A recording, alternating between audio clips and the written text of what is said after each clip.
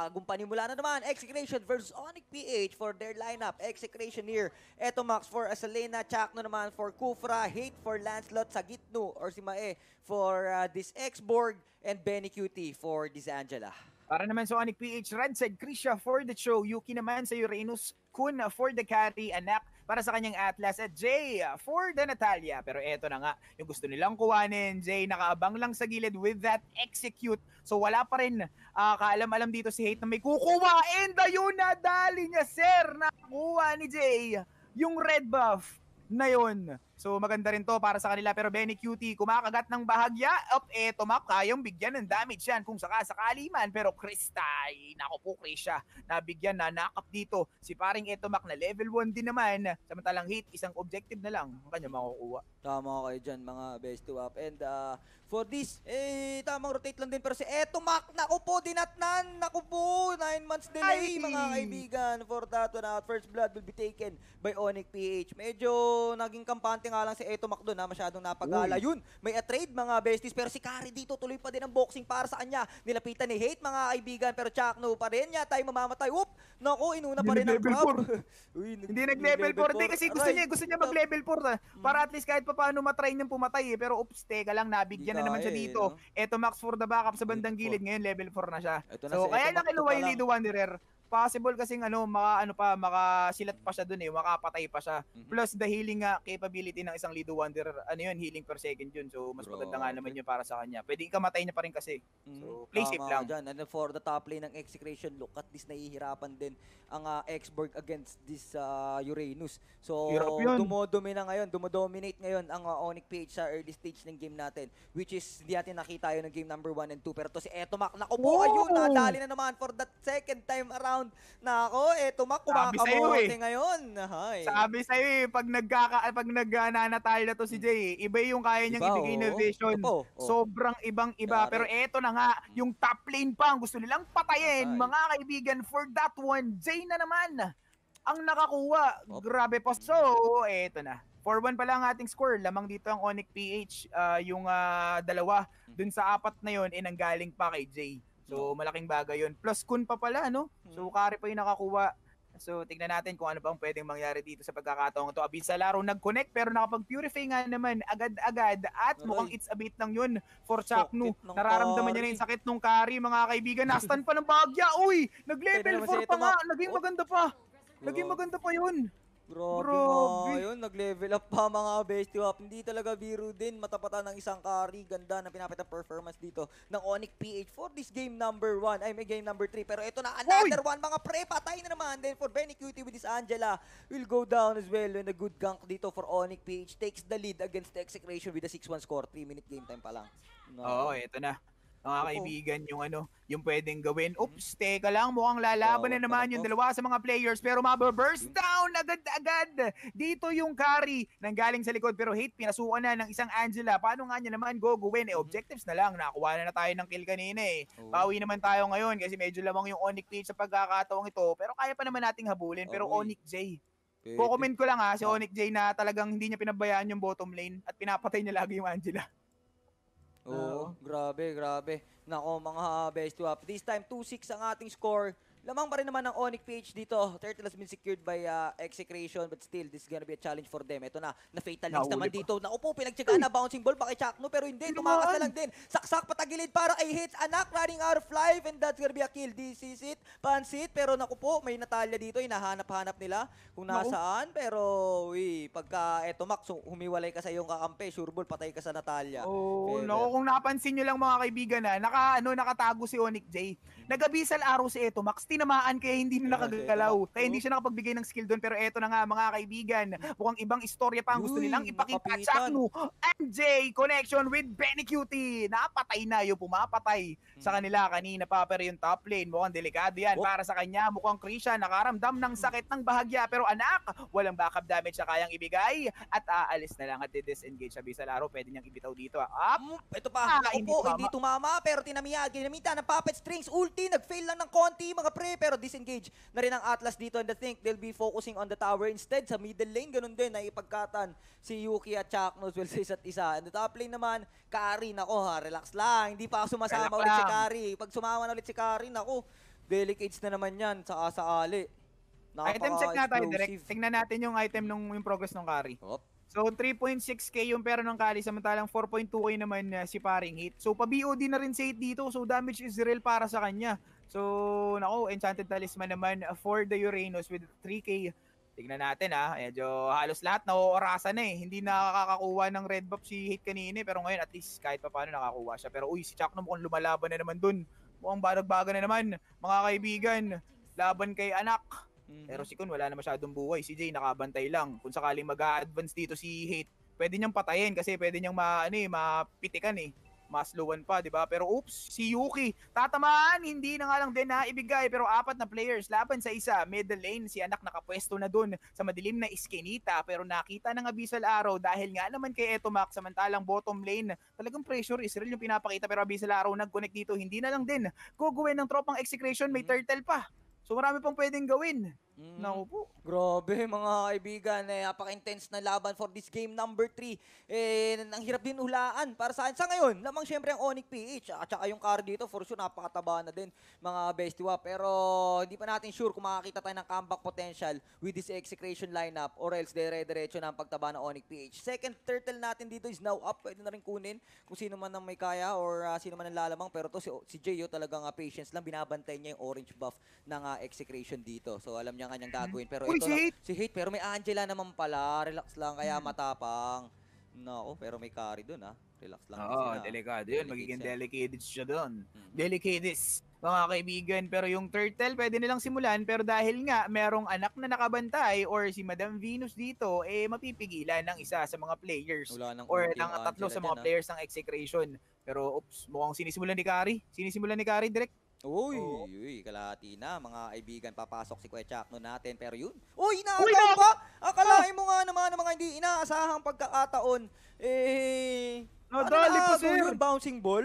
Pero layo nun, ha? Layo nun, ha? Pero eto na nga, Way of the Dragon na, da, na dodge pre! Na dodge niya! Dodge din yung Way of Ng the Dragon. skill no, niya. ano, nag-cooldown yung Way of the Dragon dito ni Krisha. Oh, No dodge, kakaya ba? Mga ML na ML itong mga player natin ngayon na. Eto na, tier 1 tower na lang din yata sa middle lane but it's a no-go. Ladies and gents, si anak dito, pwede na lang din kunin but Chak, no flex lang. Op, wala. Buff muna din daw. Mukhang nag-ingat bigla ang ano ha, ang uh, Onyx page. Hindi na sila naging agresibo. Sa bagay, okay na yun. Nasa kanila yung lamang. Tama na muna yun. Pero eto, Uy, nakita na. nila mga kaibigan si anak. Uy, speed lang mga bases. hindi na pinagamit. Nag-error ng kasi sila ng dalawang beses eh. Oo. Nakuha yung turtle, tapos na-dodge pa yung Way of the Dragon dito ni Hate. So, Mm. naging sabi nila, teka, nabitaw na natin halos sa lahat ng mga pwede nating ibitaw, especially Oo. pagpatay kay Hate. Diba? Kaya disengage muna tayo. Yung Hanap tayo ng tamang nila timing, hanap tayo ng tamang posisyon na, na para at least maging uh, effective yung gusto nating gawin. Pero tignan natin dito. Si Onyx J, doon pa rin sa pwesto niya. Kanina pa to, nandun lang talaga siya na nandun sa pwesto niya. Pero ang magiging problema niya, ang magiging problema ng execration, yung top lane. Oo. Hindi nababantayan. Kaya nga, ito si Yuki. Hey, kasali ako sa game mga kaibigan. Kung ayaw niyo dumepensa, rerektahin ko to. Pero mukhang makakarekta nga din ata. Oh! Pero yun lang si Etomac. Patay na naman mga kaibigan for the third time around. Pero ito, sa bilang banda, si 8 dito with his ultimate. Hindi tumama. Oh! Kung trying to escape, Chakno dito. Hinahabol-habol pero medyo delicades. Ito na, si Hate dito naghahanap ng mapapatay pa puppet string. Binitaw na lang din. Ako, napakabilis tumakbo. Inako! Maabutan ba? Hop! Oy, ayun lang with that dash. Pero naku po, buhay pa mga Ay! babies. Ayun, unstoppable. Wala ko, binbig For that hate, disengage mga kaibigan. Si Kun na batay, pero yun nga lang, backup, ababackupan lang din. Hate dito, shutdown lang din. Relax lang, trade lang tayo. Ladies and gents, another one. Ulti para isa gitno against three mga pre. Eto na, naku po, disengage. And another one, Krisha. Abyssal Araw, baliwala, hindi makaramdaman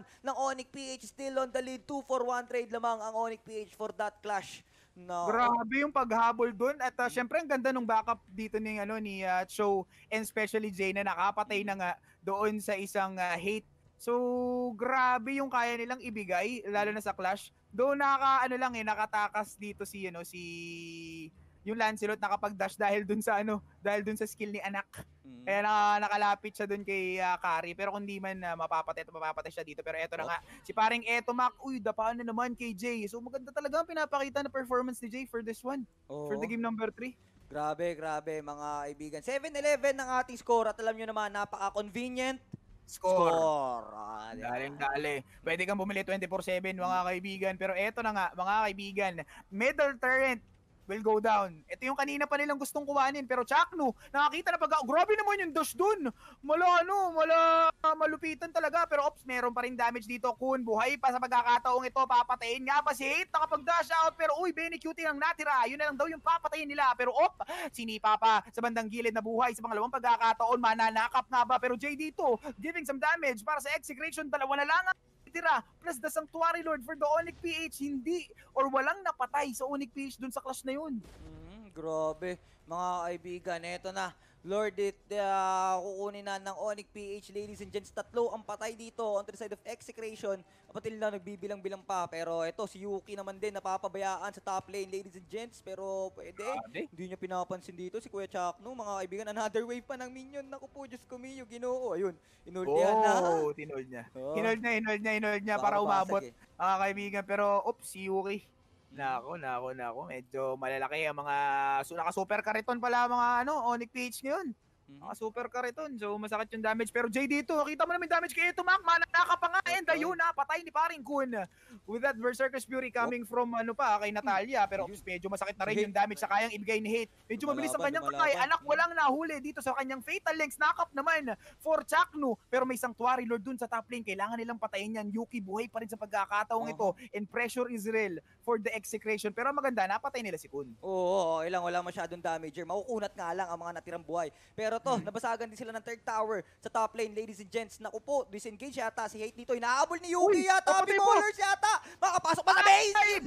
Hinatid, mga kaibigan. Pero to, si anak lang din, mga kaibigan, na magiging trade Jackno with that ultimate against Krish as well. Ito na, hinahabol-habol with that bouncing ball. Hindi kumonekta. Oh! Ladies and gents, napilitan ng lumaban with that way of the dragon. Pero yung base, naku po, oops, tamang sticker lang kay Kuya Krysha. Hinahabol, binabayta man lang din ng Onyx PH ang execration. Be- make them busy para hindi nga naman makapagdepensa ng mga tore. Pero yun nga lang, the advantage Grabe. is now on Onyx PH. Oh, Grabe yung damage na kayang ibigay ni Yuki kay ano kanina kay Hit. Ayun yung ano eh, yun yung problema pag hindi nyo na natatapatan yung isang Uranus. Mm. Kasi natanggal nyo na rin yung pang-kontra sa kanya, yung Esmeralda. So mamamaximize at mamamaximize talaga and nakita naman natin dito kung ano yung linyang ah, na pressure yung top lane which is nandun si Yuki kanina pa. Hindi na nga siya sumasama ng clash, ang sumasama ng clash lagi si Kun, si Graisha, si Anak, tsaka si Jay. So naging effective yun para sa kanila and ah, nagkaroon ng items dito si Yuki ang ha- hanggang ngayon, di ba? Mm, grabe, grabe. Mga kaibigan, napakaganda ng uh, pinapakitang performance kaya ng Onyx PH by this time. 8k gold lead in favor of them. Execution nahihirapan kapit sa cellphone muna sa ngayon. Pero naku po, mukhang uh, Onyx PH really eager to end this game as early as possible. Eh, Oo, ang ito na yung last sakit na insanity, binigay na. Oh!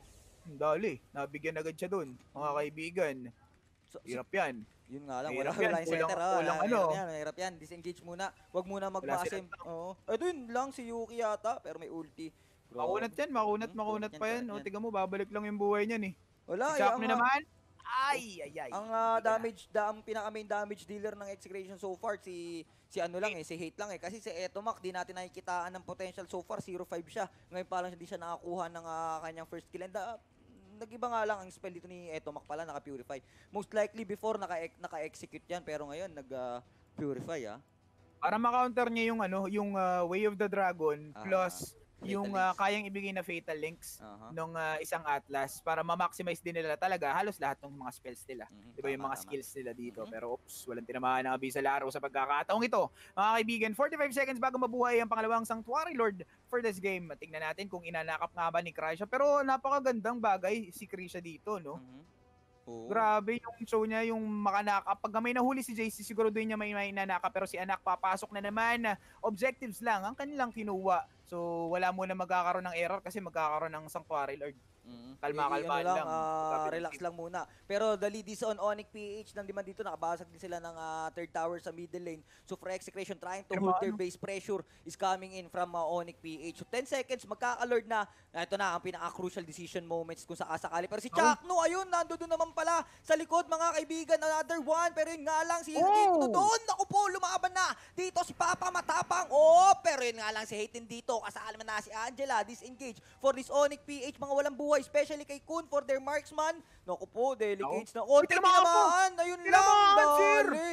Very first time na nakita natin ng crucial pana mula kay Eto kumonekta rin sa wakas. And eto na, naku po, Lord is open, Kun is down, Execration, tingnan natin kung kukuha ba ng objectives or still talagang uh, Onyx PH pa rin ang mananalo or magwawagi for for this pressure. Nako. Oh, dalawa Hirap lang ng yan. It's either kuhanin ng Onyx PH as is try steal ng execration. Kasi Oo. hindi rin sila pwedeng mag-engage na eh. Kasi malaki na yung damage siya kayang ibigay. Pero Abyssal Arrow nag-connect na naman dito. Plus na the daw. last insanity nakatakas si Jay. Dun sa pagkakataon na yun. Pero hate, pinasukan na ng Angela. Susugurin nga ba si Jay? Hindi nakita. Pero Fatal Links nag-connect na naman sa dalawang players ng execration dito. Jay mukhang babalik. Pero oops, Yun. eto na naman. Uy, Wala nasa si niya pa. Yung mga players. Pinicutie. Uy, go down na. Ito Chaco inahabol. Makakapag-shunpo. Makakapag-jitkundo. Pero dalawa na lang ng players dito ng execration mapapatay Ayun, naku si Ayun, Chakno doon, dali. napatay lang din mga kaibigan. Last one standing si Sagitno to defend their own uh, base, pero yun nga lang, di na kailangan ng Lord, pwede na yata ito rektahin. Mga Oh. kaibigan, oops, last insanity, binitaw na lang mga pre, pero Delicate, ang tagal pa mabuhay ng kanyang kakampi. Mga kaibigan, pwede nang tumower lock ang Onyx PH for this game number 3. Now po, good game, execration, but the Onyx PH will get uh, this uh, game number 3. Grabe. Lupit, malupit